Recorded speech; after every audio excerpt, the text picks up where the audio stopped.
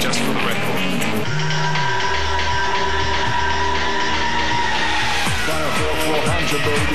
Bonneville 400, baby.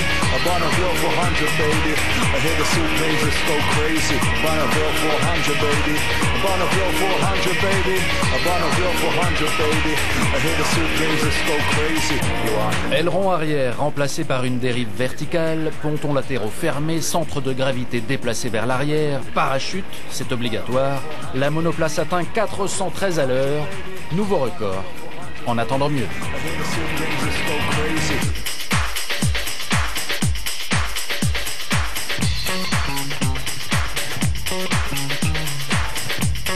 We achieved a speed of over 400 k's, which for a modern F1 car is, is unprecedented. It's a first for me as well, it's a first for the team. It's a big boost for the project because now we know that the car is capable of doing it. We just now need to get the car to Bonneville to where it belongs and, and do the proper time mile in both directions. Bonneville 400, baby.